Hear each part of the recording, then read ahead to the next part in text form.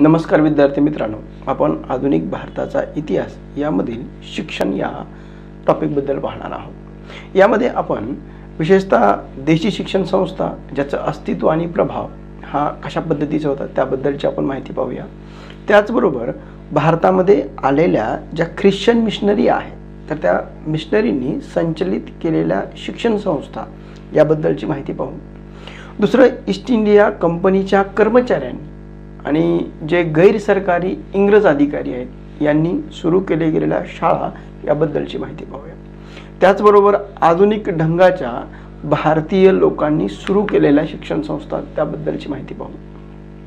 त्याचबरोबर सतराशे चौऱ्याऐंशीच्या कालखंडामध्ये बंगाल एशियाटिक सोसायटीची स्थापना झाली. त्याचबरोबर अठराशे तेराचा चार्टर ॲक्ट अठराशे तेहताचा तेहतीसचा चार्टर ॲक्ट त्याचबरोबर दोन गट निर्माण झाले होते. भारतीय लोकांना कोणत्या भाषेतून शिक्षण द्यावं? त्याचं माध्यम काय असावं? या संदर्भामध्ये पौरात्यवादी समर्थक ज्याला आपण ओरिएंटलिस्ट गट आणि दुसरा पाश्चात्य विद्या समर्थक जो अँग्लिस्ट गट असे तयार झाले होते. विद्यार्थी मित्रांनो आपण ज्यावेळेस पहिला भाग पाहतोय तो म्हणजे पारंपरिक शिक्षण संस्था किंवा देशी शिक्षण संस्था. याचा जर वैशिष्ट्य जर आपण पाहिलं तर त्याचा अस्तित्व आणि प्रभाव हा तितकासा नव्हता. कमी होता. जसं आपण पाहतो की हिंदूंच्या शाळा आहेत. हिंदूंच्या शाळा ह्या मंदिरांमध्ये चावडीमध्ये किंवा झाडाखाली भरत होते म्हणजे प्रिंटिंग प्रेस येईपर्यंत भारतीयांचा जो सिलेबस होता पाठ्यक्रम होता तर तो किंवा मुखोद्गत किंवा हस्तलिखित पोत्यांच्या साह्याने हा सिलेबस होता. त्याचबरोबर यामध्ये काय शिकवलं जात होतं? तर वेद धर्मशास्त्र व्याकरण वेदांत तर्कशास्त्र न्याय आणि वैद्यकशास्त्र ज्योतिष अलंकार याबाबतचे शिक्षण हे दिलं जायचं. हे शिक्षण हे संस्कृतमध्ये जायचं. हे झालं हिंदूंच्या शाळांबद्दलचं. मुस्लिमांच्या शाळांमध्ये ज्यावेळेस आपण पाहतो त्यावेळेस मुस्लिमांच्या शाळा ह्या मदारसांमध्ये किंवा मक्तबामध्ये भरत होत्या. त्याच्यामध्ये या शाळांमध्ये हिंदूही सहभागी होत होते कारण त्या कालखंडामधली न्यायालयीन भाषा ही फारसी होती. आपण हिंदूंमधल्या आणि मुस्लिमांमधल्या शिक्षणाबद्दल ज्यावेळेस आपण पाहि माहिती पाहतो त्यावेळेस या दोन्ही शिक्षण पद्धतीमध्ये वैज्ञानिक आणि धर्मनिरपेक्ष शिक्षणाचा अभाव होता म्हणजे धार्मिक शिक्षण हे दिले जात होतं. या शिक्षण पद्धतीमध्ये आणखी एक वेगळे पण जर आपण पाहिलं तर स्त्रियांना आणि कनिष्ठ वर्णीयांना या शिक्षण पद्धतीमधून वंचित ठेवलं होतं. हे एक आपल्याला त्या अर्थानं सांगता येईल. दुसरा मुद्दा आहे तो म्हणजे ख्रिश्चन मिशनऱ्याद्वारे संचलित असणाऱ्या शिक्षण संस्था त्याबद्दलची माहिती पाहू. विद्यार्थी मित्रांनो जसं आपण युरोपियन कंपन्यांचं आगमन आपण ज्यावेळेस पाहिलं त्यावेळेस पोर्तुगीज असतील डच इंग्रज फ्रेंच डॅनिश हे ज्यावेळेस भारतामध्ये आले त्यांच्यासोबत त्यांच्या ख्रिश्चन मिशनऱ्या धर्माचा प्रचार आणि प्रसार करण्यासाठी म्हणून भारतामध्ये आल्या होत्या. मूळ प्रेरणा काय त्यांची धर्मप्रसार करण्याची आहे. परंतु धर्म परिवर्तनासाठी म्हणून ते त्या कालखंडामध्ये मदत देखील करत होते. विशेषतः भारतामध्ये जर आपण पाहिलं तर ख्रिश्चन धर्म हा कनिष्ठ वर्गाने स्वीकारला होता. हे एक आपल्याला वरच्या वर्गाने स्वीकारण्याच्या ऐवजी कनिष्ठ वर्णीयांनी हा धर्म स्वीकारला होता. हे एक ख्रिश्चन धर्माचं वेगळे पण आपल्याला सांगतं. दुसरं सगळ्यात महत्त्वाचं की ज्यावेळेस ह्या ख्रिश्चन मिस्टरांनी धर्म प्रसार करायला सुरुवात केली त्यावेळेस मग त्यांनी शाळा असेल महाविद्यालय असतील किंवा त्याचबरोबर दवाखान्यांच्या सुविधा असतील किंवा गरीब व्यक्ती आहे आजारी व्यक्ती आहे तर त्याला मदत करणं. नैसर्गिक आपत्तीच्या वेळी देखील ह्या ख्रिश्चन मिशनऱ्या मदत करत होत्या. मदत करत होत्या. जातपात अंधविश्वास हिंदू देवतांची हेटाळणी करणं अशी कामं त्या कालखंडामध्ये ह्या ख्रिश्चन मिशनऱ्या केली. सर्वात महत्त्वाचं आहे जी म्हणजे डेन्मार्क मिशन जी सतराशे सहामध्ये दक्षिण भारतामध्ये कार्य करायला सुरुवात केली. कंपनीचा व्यवहार जर आपण पाहिला तर सहानुभूतीपूर्वक होता परंतु बंगालमध्ये धर्मप्रसार करण्यासाठी किंवा बंगालमध्ये मात्र कंपनीचा प्रसार करण्यासाठीचा विरोध होता असं आपल्याला सांगता येईल. डॅनिश जी कंपनी आहे ज्यामध्ये डचांची जी कलकत्ता इथं मात्र डच वस्तीमध्ये त्यांनी महत्त्वपूर्ण अशा पद्धतीचं योगदान दिलं. यामध्ये Phillips Carey William Ward George Marshman यांना श्रीरामपूरची त्रयी असं म्हटलं जातं. आणि ही सतराशे नव्याण्णवमध्ये ही श्रीरामपूरची त्रयी अस्तित्वात आली. विल्यम वार्ड हा मुद्रक होता. त्यांनी कागदाचा कारखाना काढला. बायबलचा बंगाली अनुवाद हा विल्यम वार्ड यांनी त्या कालखंडामध्ये केला. फिलिप्स कॅरे आणि हर्षमन यांनी बंगाली भाषेतील विश्वकोश हा तयार केला. मिशनरींनी इंग्रजी भाषेतून शिक्षण देण्यासाठी कलकत्ता ढाका आणि चितगाव या ठिकाणी शाळा केली शिक्षण आणि समाजसेवेच्या माध्यमातून धर्म धर्मप्रसार हा केला. इंग्रजीतून सर्वांना शिक्षण देणं व्यवहार्य आहे असं ह्या कंपन्या मानत होत्या. त्यांनी त्याच ठिकाणी शाळा काढल्या ज्या ठिकाणी त्यांना धर्म प्रसार करण्यासाठीची मुभा मिळते किंवा सफलता मिळते तर त्या ठिकाणी केली विद्यार्थी मित्रांनी ते एक गोष्ट लक्षात ठेवावी लागेल की मिशनरींनी विचारांनी प्रसार करत असताना त्यांच्या ज्या स्त्रिया आहेत तर त्यांनी देखील बालिका विद्यालय किंवा अनाथालय त्या कालखंडामध्ये सुरू केली होती. मध्यमवर्गीय आणि उच्चवर्गीय महिलांसाठी ग्रह शिक्षण महिला शिक्षणाचा प्रारंभ हा यांनी केला होता. त्या कालखंडामध्ये ज्या सोसायटी म्हणून काम करत आहेत तर त्यामध्ये general missionary society London missionary society church missionary society Scotch missionary society German आणि American missionary society Wesleyan missionary society या सर्व सोसायट्यांनी भारतामध्ये काम करायला सुरुवात केली.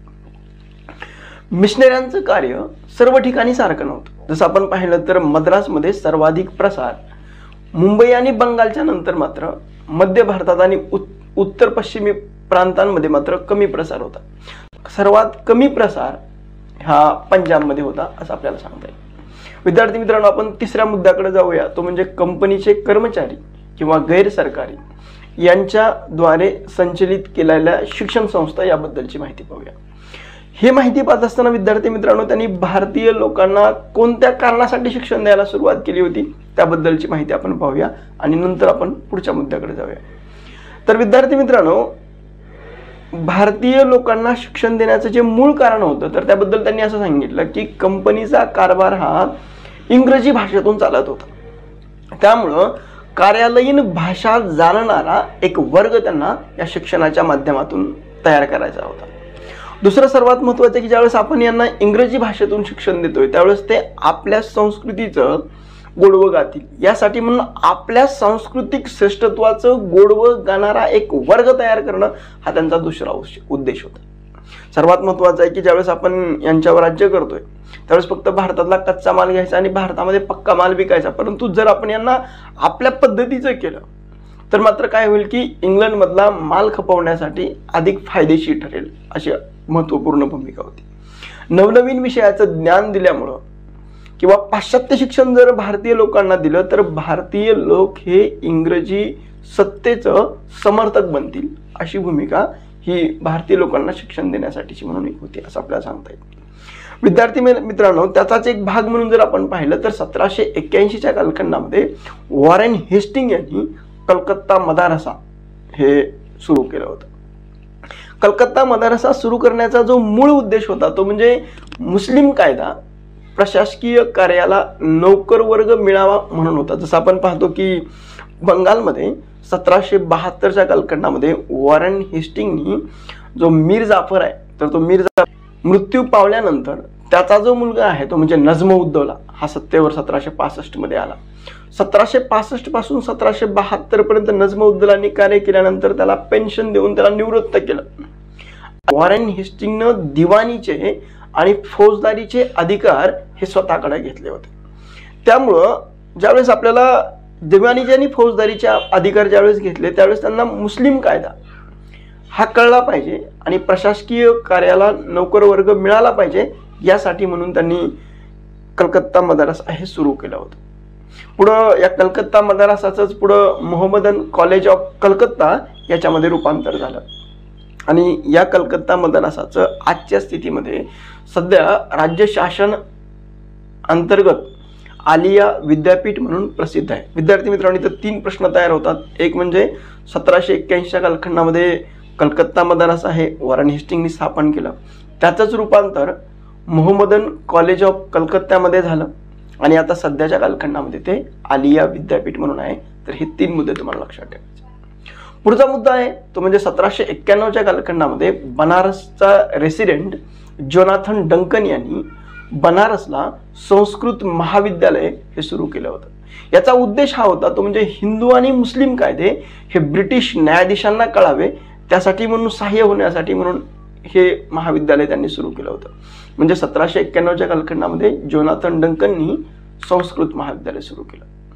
विद्यार्थी मित्रांनो ज्यावेळेस लॉर्ड वेलसली भारतामध्ये आला त्यावेळेस त्याचा एक उद्देश होता तो म्हणजे सिव्हिल सेवकांना प्रशिक्षण देण्यासाठी म्हणून त्यांनी अठराशे मध्ये कलकत्त्याला फोर्ट विल्यम कॉलेज हे स्थापन केलं होतं. परंतु लॉर्ड विलसलीचा हा निर्णय कंपनीच्या निर्देशक मंडळाला पसंत पडला नाही. यासाठी म्हणून कंपनीनं हे कॉलेज बंद करण्याचा आदेश दिला आणि अठराशे दोनमध्ये फोर्ट विल्यम कॉलेज हे बंद पडलं. याची आवश्यकता लक्षात घेऊन लंडनमध्ये अठराशे सहामध्ये हेलिबरी या ठिकाणी या कॉलेजची स्थापना केली. आणि मला वाटते हा प्रश्न विचारलेला आहे. तो म्हणजे लॉर्ड विलेस्लीनी केव्हा स्थापन केलं केव्हा बंद केलं आणि त्याची आवश्यकता घेऊन केव्हा सुरू केलं त्याबद्दलचा प्रश्न होता. अठराशेमध्ये कलकत्त्याला फोर्ट विल्यम कॉलेज हे स्थापन केलं. अठराशे दोनला हे फोर्ट विल्यम कॉलेज बंद केलं.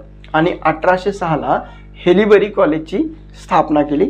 याबद्दलची माहिती सांगता येईल त्याच्यानंतरचा पुढचा मुद्दा आहे तो म्हणजे चौथा. तो म्हणजे सतराशे चौऱ्याऐंशीच्या कालखंडात बंगाल एशियाटिक सोसायटीची स्थापना ही कलकत्ता उच्च न्यायालयाचे न्यायाधीश विल्यम जोन्स आणि गव्हर्नर जनरल वॉरेन फेस्टिंग यांनी सुरू केली होती. याचा मूळ उद्देश काय होता? तर तो म्हणजे भारतीय साहित्य आणि संस्कृती यांचा अभ्यास करण्यासाठी ही संस्था स्थापन केली होती.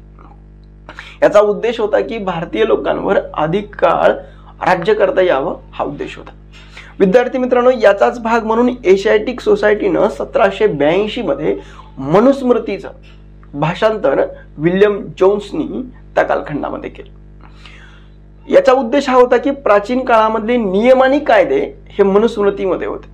त्यामुळं आपल्याला जर प्रशासन करायचं असेल तर यांच्या रूढी प्रथा आणि परंपरा हे आपल्याला माहीत पाहिजे. यासाठी म्हणून यांनी धर्मग्रंथ भाषांतरित करायला सुरुवात केली.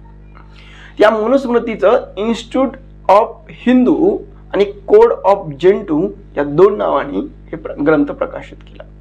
सतराशे चौऱ्याऐंशीच्या कालखंडामध्ये श्रीमद भगवद्गीता ही चार्ल्स विल्कन्स यांनी भाषांतरित केली. सतराशे सत्याऐंशीच्या कालखंडामध्ये हितोपदेश हा चार्ल्स विल्कन्स यांनी भाषां इंग्रजी भाषेमध्ये अनुवाद केला. सतराशे एकोण एकोणनव्वदमध्ये अभिधाम शाकुंतलम आणि ऋतुसंहार याचा अनुवाद विल्यम जोन्सनी केला. गीत गोविंद सतराशे ब्याण्णवच्या कालखंडामध्ये गीत गोविंदचा अनुवाद हा इंग्रजीमध्ये विल्यम जोन्सनी केला. विद्यार्थी मित्रांनो ही जी एशियाटिक सोसायटी आहे तर या एशियाटिक सोसायटीमध्ये तीस सदस्य आहे यामध्ये प्राचीन भारतीय साहित्याचा इंग्रजांना आणि पाश्चात्य भारतीयांना परिचय करून देणं हा उद्देश आहे. जसं आपण विद्यार्थी मित्रांनो इथे एक गोष्ट नमूद करण्यासारखी आहे ती म्हणजे अठराशे एकोणतीस पर्यंत. या एशियाटिक सोसायटीचा एकही भारतीय सदस्य ती हा सदस्य नव्हता असं आपल्याला सांगता येईल. सतराशे एकोणनव्वदमध्ये एशियाटिक रिसर्चर्स या नावाने हे प्रकाशित होतं. त्याच्यानंतरचा पुढचा मुद्दा आहे तो म्हणजे भारतीय व्यक्तींनी सुरू केलेल्या शाळा. भारतीय व्यक्तींचं एक वेगळं वैशिष्ट्य त्यांना पारंपरिक विद्यालयाचं संचालन करणं हा उद्देश नव्हता. नोकरीच करत होते. स्वतःचं विद्यालय उघडावं असं ध्येय हे भारतीयांचं नव्हतं. शक्यतो ते मुख्याध्यापक प्राचार्य पद हे देखील युरोपियन व्यक्तींना असायचं.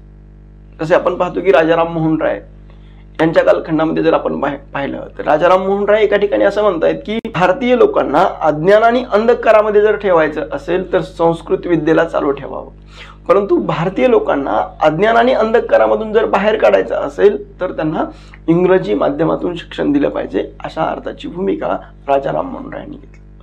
परंतु राजाराम मोहन राय हे संस्कृत विद्वान होते तरी देखील इंग्रजी माध्यमाचा त्यांनी पुरस्कार केला. परंतु भारतीय भाषांचा अभ्यास आणि विकास याचं समर्थन केलं त्याला कुचकामी म्हटलं नाही हे देखील वेगळे पण आपल्याला राजाराम मोहन रायांचं सांगता येईल. राजाराम मोहन रायनी अठराशे सतरामध्ये त्यांचे मित्र डेव्हिड हियर आणि राजाराम मोहन राय यांनी अठराशे सतरामध्ये हिंदू कॉलेजची स्थापना केली. याचा उद्देश होता तो म्हणजे धर्मनिरपेक्ष शिक्षण हे सुरू केलं होतं. या कॉलेजमध्ये इंग्रजी नीतिशास्त्र व्याकरण बंगाली इतिहास भूगोल गणित ज्योतिष हे विषय शिकवले जात होते. परंतु काही आर्थिक संकटांमुळं हे कॉलेज हे कंपनीकडे सोपवलं. ते पुढं अठराशे चोपन्नच्या कालखंडामध्ये प्रेसिडेन्सी महाविद्यालय हे बनलं. पुढं नंतरच्या कालखंडामध्ये अठराशे एकोणीसमध्ये कलकत्ता स्कूल सोसायटीची स्थापना ही खाजगी प्रयत्नातून केली. या कलकत्ता स्कूल सोसायटीचा उद्देश हा होता तो म्हणजे इंग्रजी पाठ्यपुस्तकं तयार करणं प्राथमिक शिक्षण देणारे शिक्षक तयार करणं. अठराशे बावीसमध्ये कलकत्त्याला इंग्रजी शाळा ही त्यांनी सुरू केली होती. त्यांच्याच नेतृत्वाने अठराशे पंचवीसच्या कालखंडामध्ये वेदांत कॉलेजची स्थापना केली.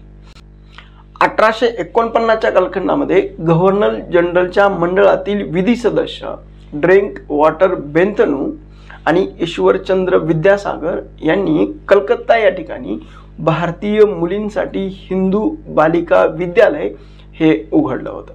म्हणून विद्यार्थी मित्रांनो बंगालमधली मुलींची पहिली शाळा जर कोणी काढली असेल तर ती ईश्वरचंद्र विद्यासागर आणि ड्रिंक वॉटर बेंतनू यांनी मुलींची बंगालमधली पहिली शाळा काढली असं आपल्याला म्हणता येईल. बालिका विद्यालय जे सुरू केलं होतं तर त्याचं पुढं बेंथून महाविद्यालयामध्ये हे रूपांतर डलहौशीच्या कालखंडामध्ये केलं आणि भारतीय महिलांसाठीचं शिक्षणाचं एक केंद्र हे बनलं. विद्यार्थी मित्रांनो पुढचा जो मुद्दा आहे तो म्हणजे अठराशे तेराचा जो चार्टर ऍक्ट आहे हा ब्रिटिश संसदेने पास केला. आणि हे दर वीस वर्षांनी पास केला जातो. जसं आपण पाहतो की सतराशे त्र्याहत्तरच्या रेग्युलेटिंग ऍक्टनुसार दर वीस वर्षांनी टप्प्याटप्प्याने याची सुधारणेचा हप्ता देत होते किंवा ईस्ट इंडिया कंपनीला मान्यता देत होते. यामध्ये अठराशे तेराच्या कालखंडामध्ये ख्रिश्चन मिशनऱ्यांना भारतामध्ये धर्म प्रसार करण्याची मुभा असावी अशी एक भूमिका त्या कालखंडामध्ये घेतली. दुसरं होतं की ब्रिटिशांना औद्योगिक बाजार हा भारतामध्ये वाढवला पाहिजे यासाठी म्हणून परंपरावादी रूढीमधून बाहेर काढून त्यांना जर आपल्यासारखं जर बनवलं म्हणजे एक भूमिका त्यांची होती. यासाठी म्हणून ईस्ट इंडिया कंपनीला अठराशे तेराच्या कालखंडामध्ये एक लाख रुपये हे शिक्षणासाठी खर्च करावे अशा अर्थाची तरतूद ही अठराशे तेराच्या चार्टर ऍक्टमध्ये तयार केली. कं परंतु ईस्ट इंडिया कंपनीचं शिक्षणाबाबतचं धोरण हे मात्र उदासीनतेचं होतं. यासाठी आपण उदाहरणार्थ जर आपण पाहिलं तर अठराशे तेराला ज्यावेळेस चार्टर ऍक्ट पास केला होता त्याच्या पुढची दहा वर्ष मात्र यांनी कोणत्याही पद्धतीचं धोरण हे ठरवलं नव्हतं असं आपल्याला सांगता येईल. विद्यार्थी मित्रांनो पुढे ज्यावेळेस या याबद्दलची चर्चा विनिमय व्हायला सुरुवात झाली त्यावेळी याच्यामध्ये तीन गट होते. एक म्हणजे पाश्चात्य शिक्षा समर्थक गट त्यांचं असं म्हणणं होतं की भारतीय लोकांना इंग्रजी माध्यमातून शिक्षण दिलं पाहिजे. यामध्ये लॉर्ड मेकॉले आणि ट्रेव्हेनियर होते. काही लोकांचं असं म्हणणं होतं ते म्हणजे भारतीय लोकांना स्थानिक भाषेमधून शिक्षण दिलं जावं यासाठी मुंड्रो आणि माउंट स्टुअर्ट एल्फिस्टन यांचं असं म्हणणं होतं की यांना स्थानिक भाषेतून शिक्षण दिलं पाहिजे. तर काही लोकांचं असं म्हणणं होतं की आपण पारंपरिक शिक्षण दिलं पाहिजे वैदिक आणि अरबी भाषेमधलं. अशा एक भूमिका होती. त्याचाच एक भाग म्हणून जर आपण पाहिलं तर अठराशे एक्क्याण्णवच्या कालखंडामध्ये जोनाथन डंकन यांनी संस्कृत कॉलेज हे बनारसला सुरू केलं होतं. अठराशे तेराचा जो चार्टर ऍक्ट आहे त्यामध्ये एकोणीसशे सोळामध्ये शिक्षणाचं माध्यम हे कोणतं असावं? यासाठी म्हणून गव्हर्नर जनरल ॲडमनी कमिटी ऑफ पब्लिक इन्स्ट्रक्शन अर्थात लोकशिक्षणाची सामान्य समिती ही दहा सदस्यीय यामध्ये असं ठरलं होतं की सरकारी अनुदान हे कोणत्या शाळांना द्यायचं? शाळांचं माध्यम हे काय असलं पाहिजे? यामध्ये दोन गट पडली होती. एक होता पौरात्यवादी समर्थक गट ज्याला आपण ओरिएंटलिस्ट म्हणतो. यामध्ये sir William Jones James Prinsep John Shakespeare आणि एच ए विल्सन हे पौरात्यवादी गटामध्ये सहभागी होते. पाश्चात्य विद्यासमर्थक जो गट आहे ज्याला आपण आंग्लिश म्हणतो त्याचा उद्देश पाश्चात्य आणि आधुनिक शिक्षणावर भर देण्याचा प्रयत्न होता. यामध्ये Charles Trevelyan bishop Hare Alexander Duff Rajaram Mohan Roy आणि बी सी सॅडर्स होते. अठराशे एकोणतीसमध्ये कंपनीच्या संचालकाच्या निर्देशानुसार ही रक्कम खर्च करण्याचा प्रस्ताव हा मांडला गेला. यासाठी म्हणून पुढं अठराशे चौतीसमध्ये लॉर्ड मेकॉले हा लॉर्ड बेंटिंगच्या कालखंडामध्ये गव्हर्नर जनरलच्या कौन्सिलचा कायदा मंत्री होता.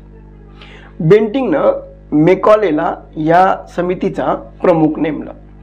परंतु विद्यार्थी मित्रांनो मेकॉले हा भारतीय लोकांना कशा पद्धतीने समजत होता याबद्दलचं जर आपण उदाहरण पाहिलं तर तो असं भारतीय साहित्याबद्दल बोलत असताना तो असं म्हणतो की संपूर्ण भारतातलं साहित्य अरब असो किंवा संस्कृत भाषेमध्ये असो हे सर्व साहित्य एकत्रित केल्यानंतर युरोपमधील एका लायब्ररीचं कपाट याच्या बरोबर देखील नाही असा उल्लेख तो करतो. आम्हाला असा भारतीय वर्ग तयार करायचा आहे. जो दिसायला भारतीय परंतु विचार आणि आचार यामधून तो युरोपियन असला पाहिजे अशी माणसं आम्हाला तयार करायची. पुढं लॉर्ड मेकॉलेनी दोन फेब्रुवारी अठराशे पस्तीसला आपलं महत्त्वाचं टिप्पण ठेवलं.